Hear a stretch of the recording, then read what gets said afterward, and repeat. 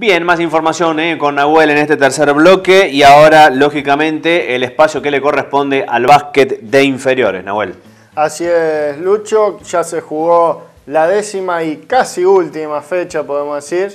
Eh, sería la última fecha, pero el próximo fin de semana se va a estar recuperando la novena fecha que no se pudo jugar, pero primero te voy a comentar lo que pasó eh, este fin de semana, que Provincial estuvo recibiendo la visita de Alma de Maciel.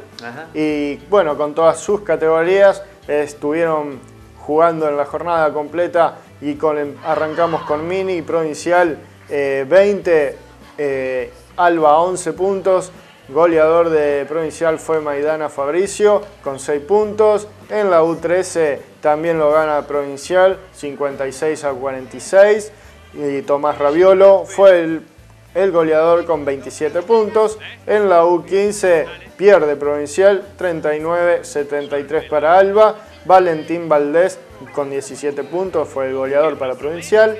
En la U17 Provincial gana eh, este partido 83 a 35 y el goleador fue Cristian Schavio con 25 puntos.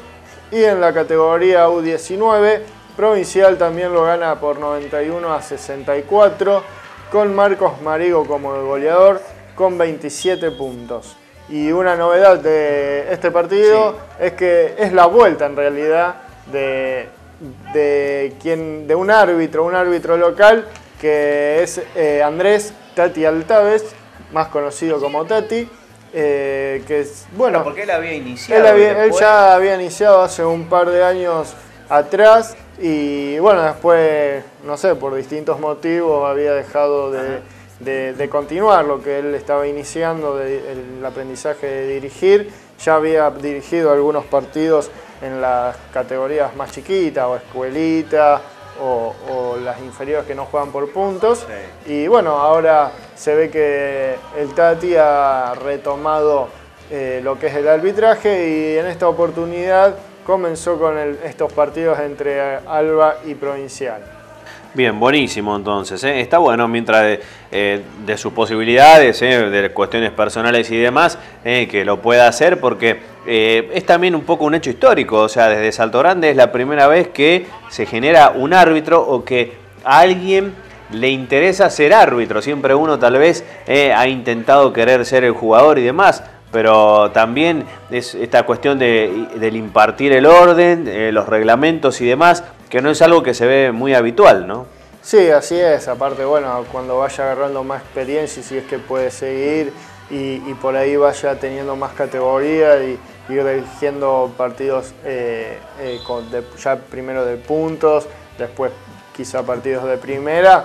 eso también por ahí a Provincial le va a dar eh, más ventaja en el sentido de que va a tener a alguien quien le pueda preguntar por cualquier fallo que haya ocurrido, eh, alguien con, con quien avalarse sobre cualquier tema que pueda estar pasando, sobre alguna pequeña nueva regla o no. Y jerarquía y club. jerarquía al club, claro, por supuesto. Porque esto indirectamente se relaciona con la, eh, la, formación dentro de la disciplina. Así es.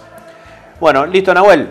Eh, ahí teníamos entonces los resultados, luego volvemos con, más información. ¿eh? ¿Queda algo? Queda, quedaba lo que, con lo que había empezado hablando, eh, lo que sería la, recuperar la novena fecha, que bueno, no se pudo jugar por la reválida de entrenadores, tuvieron que renovar el carnet y esto se hace con una clínica que se va sobre básquet y nuevos conceptos que pueden ir apareciendo o distintos conceptos que pueden ir incorporando estos entrenadores y bueno, por esto no se pudo jugar la novena fecha que ha pasado para este próximo fin de semana.